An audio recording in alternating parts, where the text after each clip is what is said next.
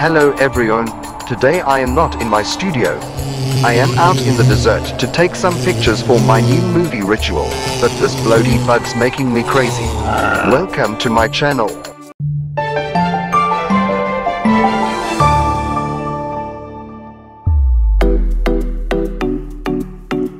Welcome back. I am still in the desert, but now in an improvised studio. Look at this, isn't it nice in here?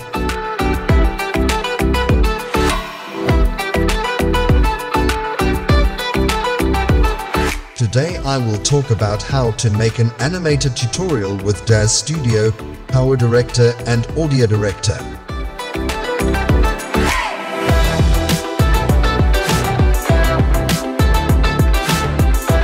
This tutorial will be divided in four parts. Part 1 Folder Management, Screen Prints, Screen Videos, Scripting and Creating AI Voices.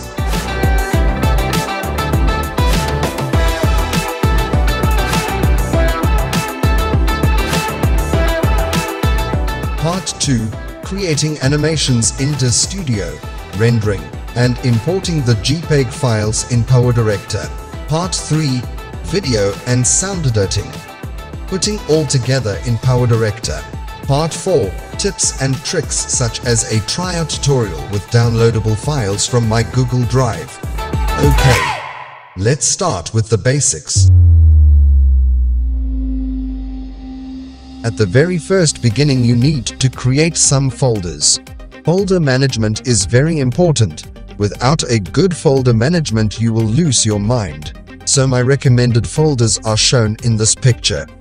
Please create them now.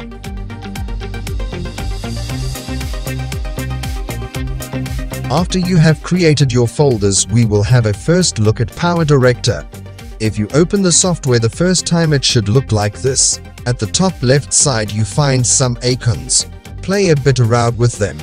We will talk about all of them later on.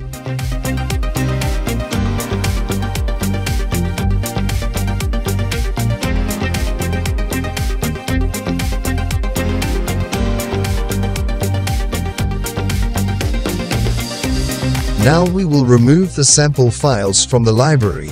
We do not need them for our project. Just make a right click into the library and select empty the library. All files should be removed now.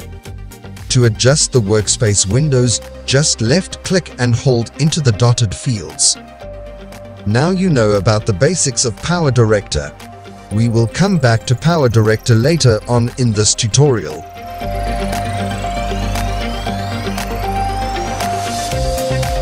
You already know how to make screen prints, you can move over to the next step. If you are working with a Windows PC under Windows 10 you should have installed the Snipping Tool app from the App Store. It's free and very useful. The app is available in many languages.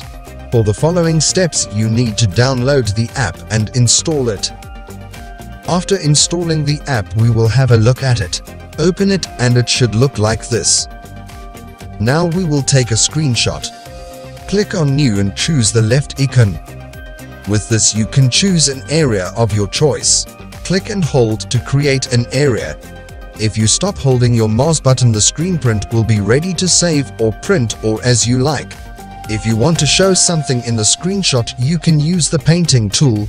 Just click and hold.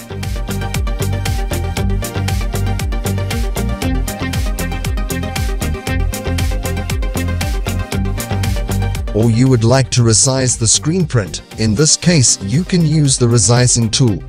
Now you know the basics how to use the snipping tool from Microsoft and how to make screen prints. It might be very useful for your tutorials. Don't forget to save the screenshot. Just click on save on the top right side.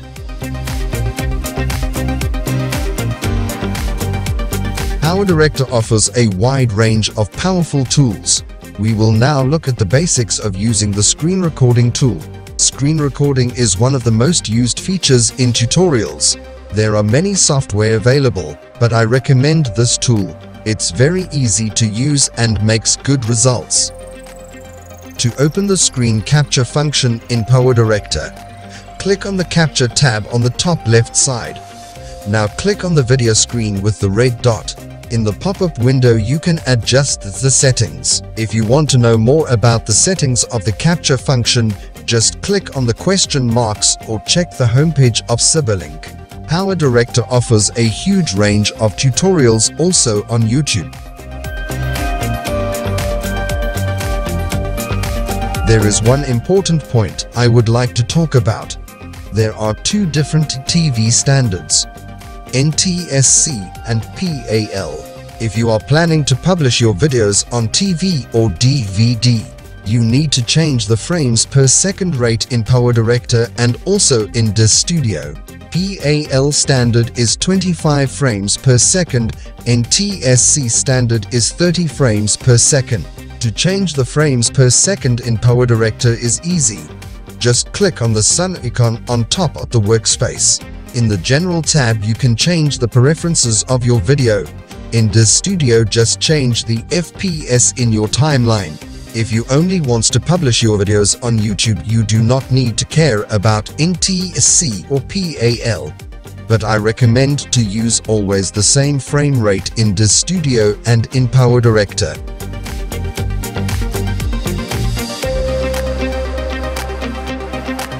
Before you start creating AI voices. And for a better overview of your tutorial you need to write a script. I recommend Microsoft Word, but you can use any other software if you like. The easiest way to prepare the voices is in your script. Write the speeches down for a good procedure. To create an individual voice for our character we move over to replicastudios.com. On this website we will find many different voices. If you want to know more about creating AI voices, I recommend my tutorial AniLip 2 Plus PowerPose with Human A Voices. After you have registered to this website we can start creating our individual voice. Just copy and paste the text out of your script. You can choose between different voices in different styles. If you are okay with it just click on download. The download starts immediately and is for free. Now your voice file should be remastered for finishing. To remaster your voice file you need to add some filters or maybe some effects. We start with a noise gate filter and a equalizer. Play a bit around with this and you will get good results. If you do not own AniLip 2 at this moment, it's time to get it from the DAZ 3D marketplace. After your purchase you need to register the plugin in your DAZ Studio software. I hope you found this part of my tutorial helpful. Then do not forget to subscribe to my channel and hit the bell. See you in the next part. Stay tuned. I will stay here for a while. Oh my god, look at this.